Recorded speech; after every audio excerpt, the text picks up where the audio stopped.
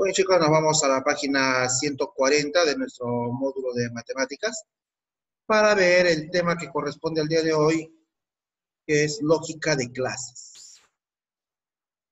Antes de empezar el tema, en la lógica de clases, nosotros debemos tener en cuenta dos aspectos muy importantes. Primero, no trabajarlo como si fuera un conjunto.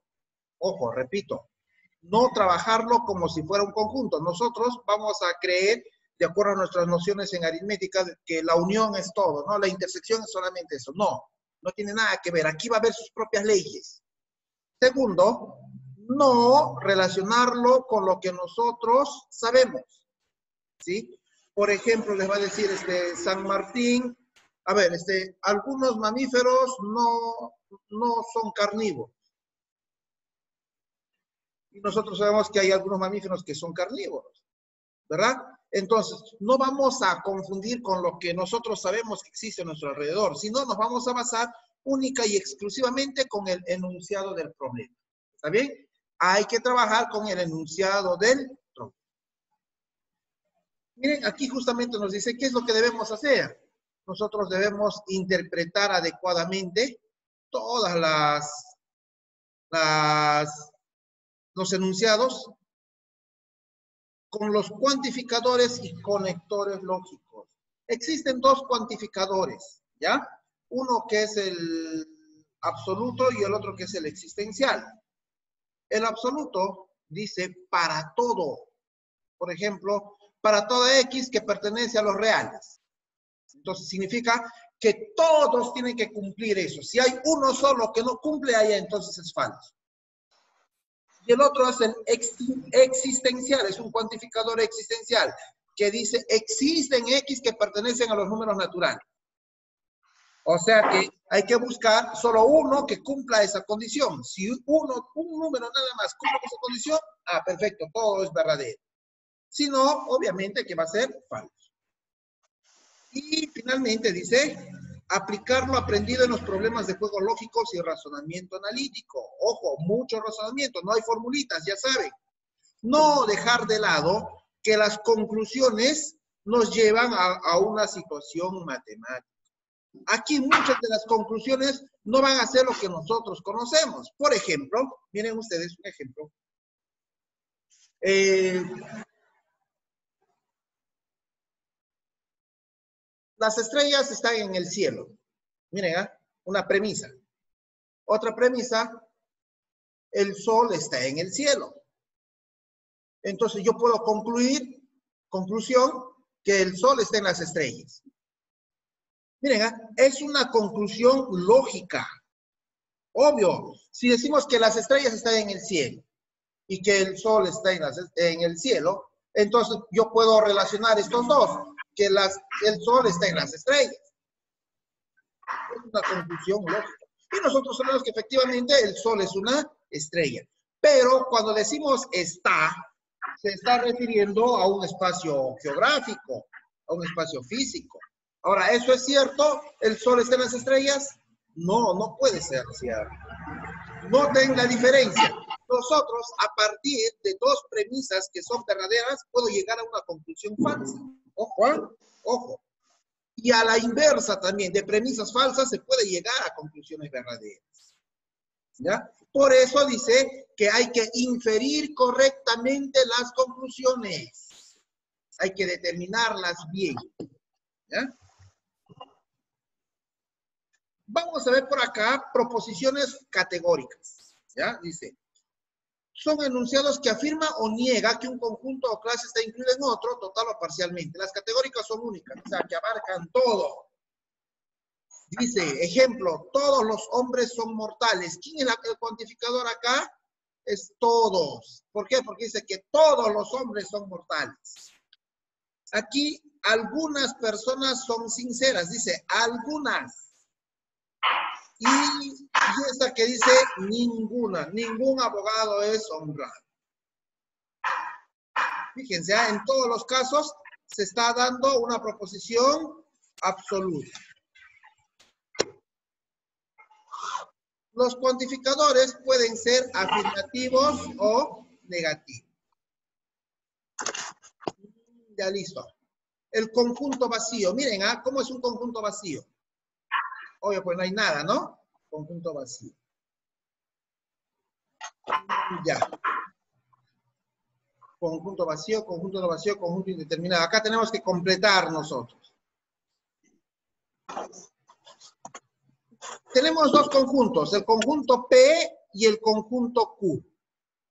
¿Cómo leemos o cómo graficamos nosotros esto? Miren, todos los P son Q. Fíjense, ¿eh? Todos los P son Q, solo se sombrea aquí a P. ¿Está bien? Todos los P son Q, solo sombreamos a P. Luego dice, ningún P es Q. ¿A quién se sombrea? A la intersección. Ningún P es Q, solo la intersección. Ojo, ¿ah? hay que hay que este, estar pendientes de este detalle. En el caso 3 dice, algunos P son Q. ¿Cómo se grafica algunos P son Q? Algunos nada más, se pone una X, no se colorea todo como en el caso 2, ningún P es Q. Algunos se ponen, algunos P son Q. Y finalmente, algunos P no son Q, de todas las P solo se grafica, o perdón, solo se toma algunos de ellos. Ojo, ¿ah? con estos cuatro casos nosotros vamos a resolver todos los ejercicios. ¿Ya? Vamos a ver aquí. Esto es importante. Antes de resolver, vamos a ir con la negación de los cuantificadores. ¿Ya? Por ejemplo, si yo niego así, ¿cuál es? No, pues profe, perfecto. ¿Cuál es la negación de ninguno? ¿Cuál es la negación de ninguno? Todos. chicos. Todos. Ajá. ¿Y la negación de algunos? ¿Algunos son? Algunos no. Algunos no son. Ya, cuidado con eso. ¿ah? La negación de ninguno, ¿quién es? Todos. todos. ¿Y la negación de todos? Ninguno. Algunos no. Ninguno. No. Ninguno. ¿Ah? Ninguno, perdón. ¿La negación de todos? Ninguno. Ninguno. Ninguno. Ningún, ningún, ningún. Ninguno son, ¿verdad? Ya. Luego vamos a tener en cuenta los casos especiales. Aquí tener, en los casos especiales vamos a tener tres equivalencias. Todos los A no son B. ¿Qué significa? Que ningún A es B. Ningún A es no B. ¿Qué significa? Que todos los A son B. Algún A no es B. ¿Qué significa? Que algún A es no B, algún A no es B. Es lo mismo, ¿no? ¿Listo?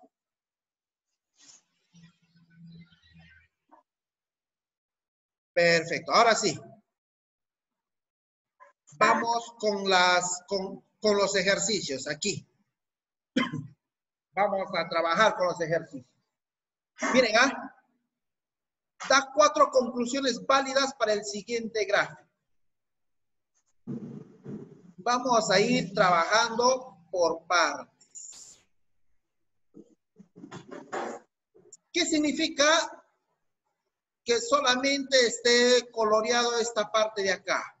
entre M y N. Miren, ah, entre M y N sería todo esto, ¿no? Fíjense. Si yo tomo en cuenta M, N, y está coloreado todo esto, ¿qué significa? ¿Qué significa? Vean el caso 1. Todos los P, todos, los, P son Q. no, pero en este caso sería todos los M. Todos los M, M son N. Ajá, hay que anotarlo, un cosadito, hay que anotarlo. Todos los M son ¿qué? N.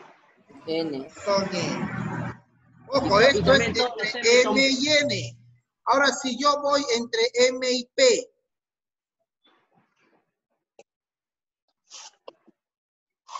M, P y está y está coloreado esto. ¿Qué significa?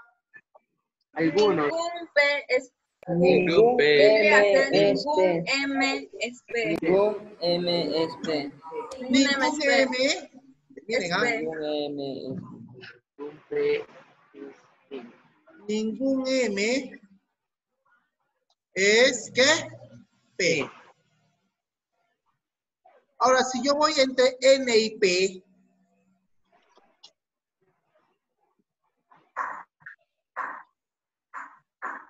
N, P, ¿qué teníamos nosotros? Algunos N. Algunos son P y No, otros no, no puede ser entre N y P.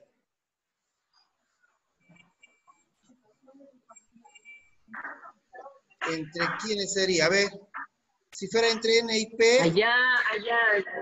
no puede ser entre N y P. Algunos P son N, profe. No. Aquí, miren, ah, aquí vamos, a, esta es la, la conclusión final.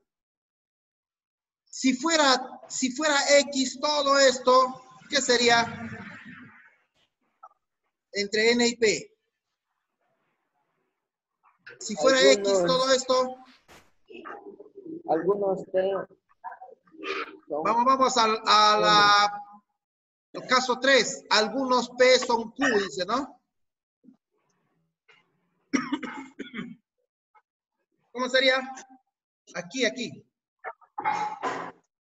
Entre, acá sería, algunos P son N, ¿verdad? Pero esos algunos P estaría tomando también a, la- a los M. ¿Qué sería, este, cómo sería entonces? Algunos Ns. Son. Algunos P no son M. Ojo, ¿ah? ¿Dónde estaba esto? Así está. confunden, profe. A ver, vamos, vamos, vamos. Repito acá, miren, miren. Esta es la clave. Si yo pongo solamente entre M y P,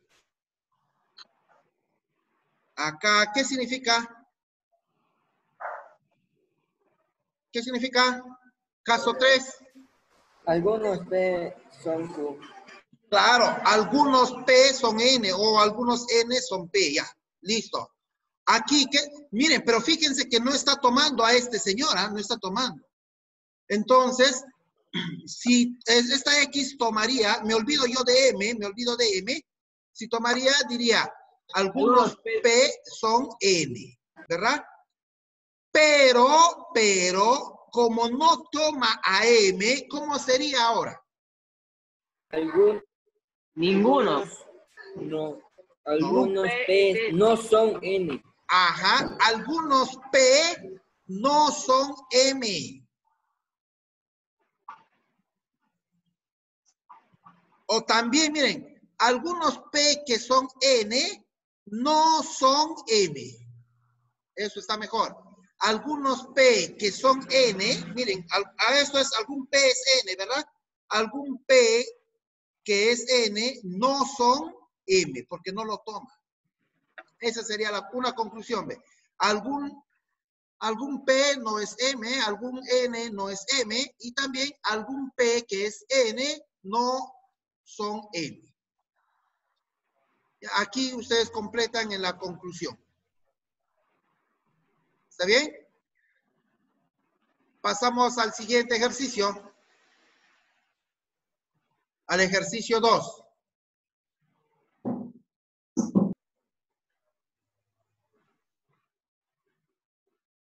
Vamos al ejercicio 2. A ver, entre T y Y.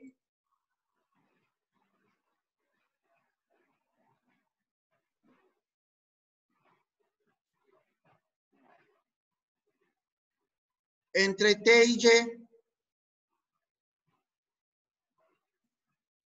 ¿Qué estaría, qué estaríamos marcando? Esta X, ¿qué significa? Algunos. Algunos. Algunos Y no son T. ¿En qué caso estaríamos? La En 4. el caso 4, cuatro. algunos En el caso Y cuatro. no son T. Algunos Y No son T. Lo anotamos. Algunos, lo anotan al costado, algunos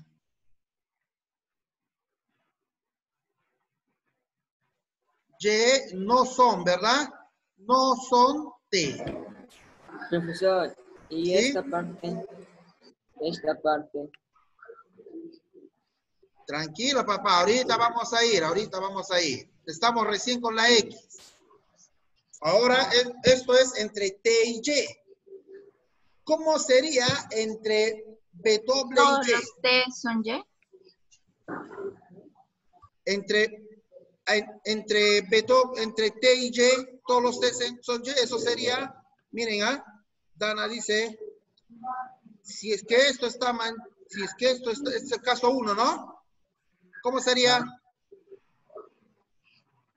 Todos los T son Y. todos los T son Y. No Todos todos, los los T. Son W. Ya mire, todos los T son Y. Luego, lo, lo, agrega- lo agregamos acá, usted todos los T son Y. Perfecto. Ojo, ya grafiqué todo esto hasta acá. ¿No?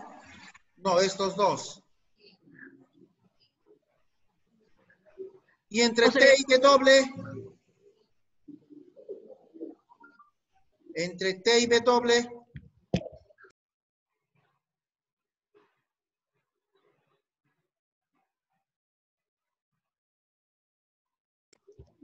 Entre T y W. Tomemos que esté solamente esto. Todos los T son W. Todos los T son W, sí o sí. Sí. Todos los T son W. ¿Ya? ¿Qué me falta? Me falta entre Y y W.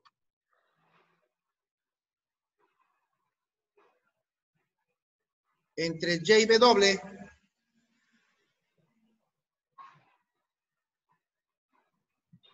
Este es Y. Ningún este Y es W. es W. Entre Miren, a- algunos Y no son T. Al hacer eso está tomando esto, ¿no? Ya, y todo esto. Algunos T son W, ya, está tomando esto. Ahora, para que me tome este de acá, Algunos Y no son. eh, ni- no, ningún Y es W. si- eso sería si es que estuviera todo. ningún Sí, es- W no son Y. Mira, si estuviera todo acá, si esto estuviera este, subrayado, ¿cómo sería? Ahí sí, ningún W es Y, ¿no? Por el caso 4. ¿Sí? Sí. Caso 2. No, por el caso 2, ¿no? Sí. Por el caso 2.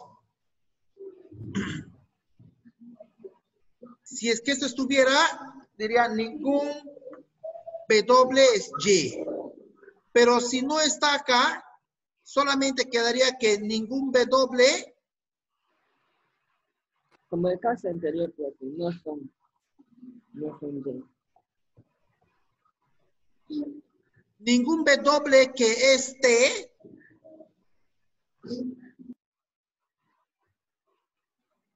ningún W que es T, tampoco es Y.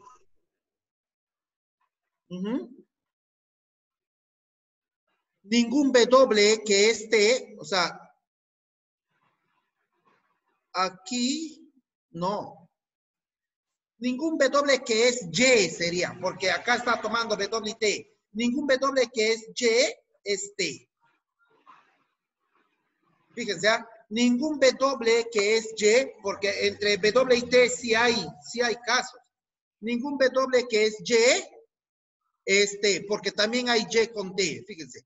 Ningún W que es, ningún W que es Y es T. ¿Ya? Completen la conclusión, ningún W que es Y es T. Borramos. Ahora me pide negar. ¿Cuál sería la negación de todos los seres humanos son trabajadores? Está resuelto. Ninguno de los seres humanos son trabajadores. No, no, no está resuelto. ¿Cuál es la negación de todos? Ningún, ningún, ningún de los seres humanos son trabajadores. Ahí, ahí no estoy de Ninguno. acuerdo. ah, No, no, no, no estoy de acuerdo ahí. Es que me- Algunos no, algunos no. Ajá, algunos seres humanos no son trabajadores. Esa es la negación. Ya, vamos a verificar, vamos a, vamos a demostrarlo. Vamos a demostrar. Todos tienen este internet, ¿verdad?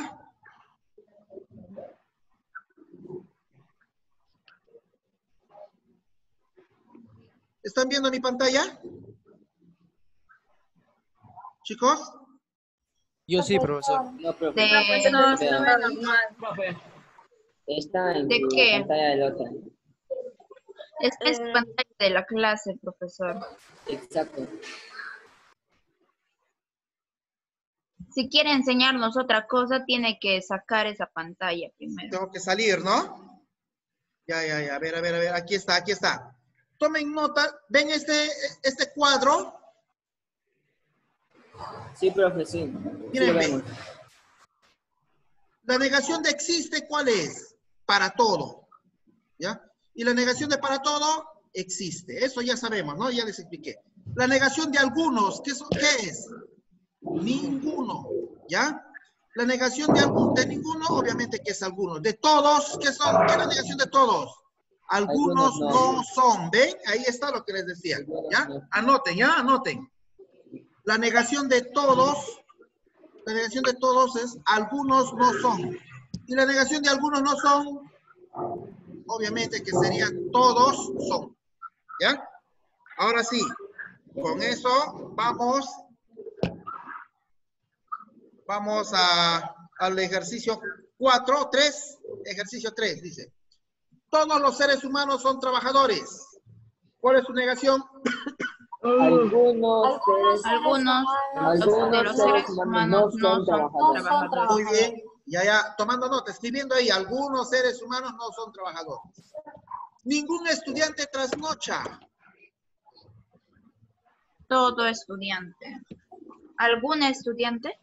Algún. Algún estudiante trasnocha.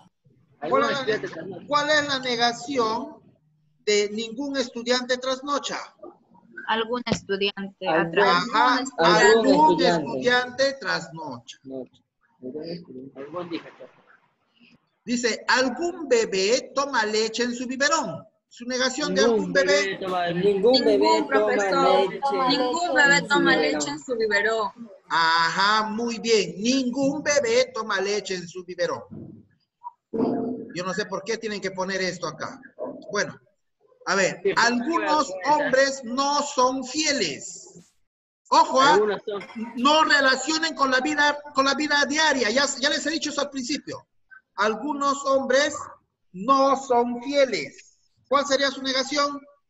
Todos los hombres son Todos fieles. los hombres son fieles. Nah, nah, nah. No te lo crees, Nito. Muy bien. Eso sí ocurre. Ahora, miren, vamos, este ejercicio 4 está resuelto, aún así lo vamos a, lo vamos a interpretar, ¿ya? Dice, algunos deportistas son buenos y todos los buenos son alegres. Entonces, primero está relacionando deportistas con bueno. Esto es muy importante darse cuenta, mira. Se relaciona deportistas con bueno. ¿ah? Dice, algunos deportistas son buenos. ¿Cómo sería deportistas y buenos, nada más? Deportistas y buenos. ¿Cómo sería algunos? Algunos D son P. ¿Cómo serían? O buenos, ¿no? Con B. ¿Cómo Con sería una algunos? X, Algunos, con una X en el intermedio. En el medio le ponemos una X, ¿no? ¿Sí? Ah, Algunos D son B. ¿Está bien? algunos D no son B. Luego, ¿qué dice? ¿Por qué caso es esto? Caso 3, profe. Caso 3. Ajá, ahí está, caso 3. Algunos B son Me falta Q. uno, Muy bien. Me faltó ¿Cómo? uno, algunos B no son D. Me faltó uno, este, todo- todos los B son D. Ahora vamos, claro. Todos los buenos son alegres. Acá está buenos. Entonces le vamos a poner a los alegres. ¿Ya? Le voy a quitar este. A ver, a ver. Solamente entre buenos y alegres. Y luego lo voy a juntar todo en uno solo. Buenos y alegres. ¿Cómo sería? Todos los buenos son alegres. Eh, solo los buenos pintamos, profesor. Así como el primer caso. Todos los buenos son alegres. Sería esto, ¿no? Sí. ¿Sí? Ahora, si nosotros juntamos estos dos en uno solo, deportistas, buenos y alegres. ¿Cómo sería? Todos los buenos son alegres. Ah, ya está coloreado todito, esto está coloreado, ¿no? sí. Y luego dice que hay algunos deportistas que son buenos. Esto va a ir acá. ¿Se entiende? Está entre D y B, ahí está entre D y B. Esto es D, deportistas, esto es bueno. ¿Se entiende, chicos? Sí, sí. Sí, ¿no? Perfecto. Ahora, como se ha entendido, nosotros podemos resolver el ejercicio, el ejercicio 5. ¿Cómo lo hacemos? ¿Qué dice? Ningún aviador es imprudente. Voy entre aviador y entre imprudente. Ningún aviador es imprudente. ¿Qué parte se señala? En, en la intersección. Aquí se pone una X, ¿verdad? No, profe, se pinta todo. En el caso 2. ¿Caso 2 o caso 3? 2. A ver, ¿qué dice el texto? Ninguno, dice, ninguno, ninguno. Ah, ya, hay que colorear, ya, muy bien. Gracias, Estefran. No, ¿qué ejercicio es 5, no? Y acá. Entonces, en este caso, no se, no se señala, sino se colorea. Ay, ay, ay, se fue todo.